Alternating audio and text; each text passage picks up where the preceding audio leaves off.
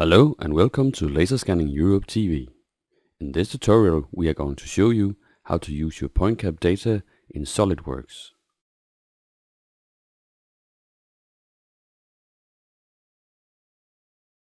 Open up your SolidWorks and start on a new part. Select the plane that you are going to work on. In this case I choose the front plane and I choose to make a new sketch. Go to Tools, Sketch Tools and Sketch Picture. At this point it is important that you have located your PointCab log file and looked in that to see your scale of your pictures. In this particular case the scale for the pictures are 20 by 20 meters. Once you have located your PointCab data, you choose the lower left picture. Now you have to set up your scale and we know that it's 20,000 millimeters.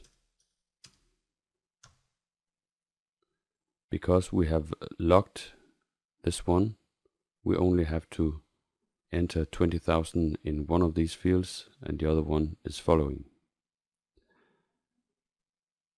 And we are choose to put in the pictures at the 0, 0 point for the x and y axis.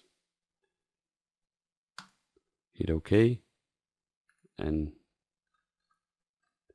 when you zoom out see now that you have the picture. So go to tools again, sketch tools, sketch picture and choose the ne next picture. In this case it's the upper left picture. And as you can see, it's placed down here. So we have to move it upwards towards the y-axis, 20,000 millimeters. And we have to set the scale.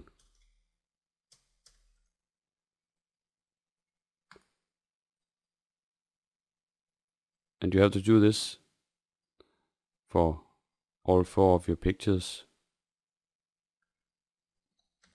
So you will have something like this. You can close the sketch and you have a perfect 2D layout in your 3D CAD system. You can do this for a side view also. By now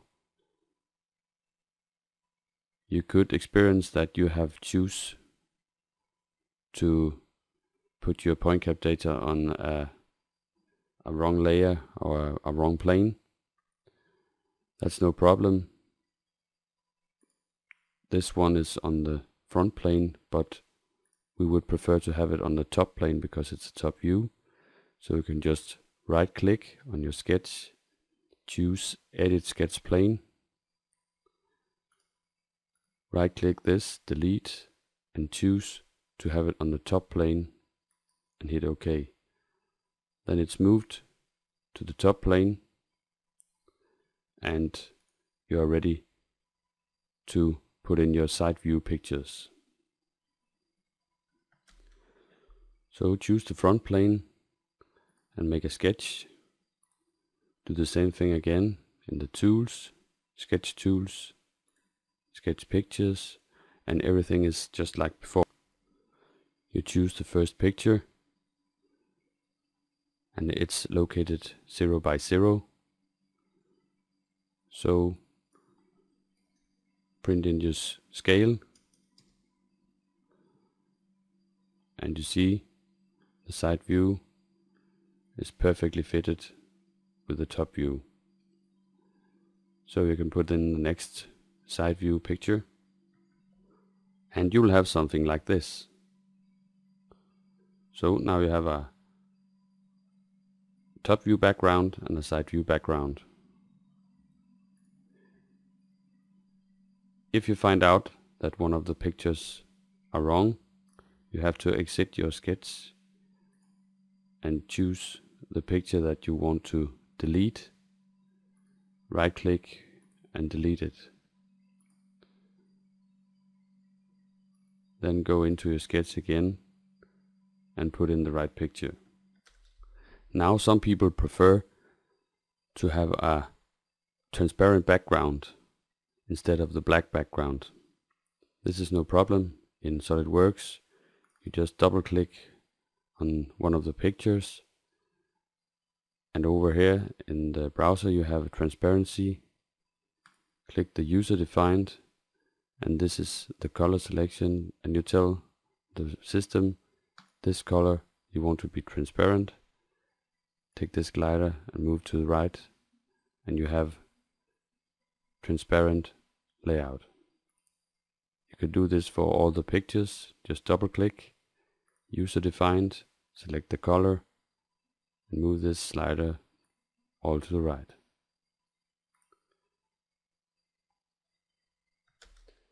and your layout will look like this. So now you are ready to go using your PointCab data in SolidWorks. Thank you for watching Laser Scanning Europe TV.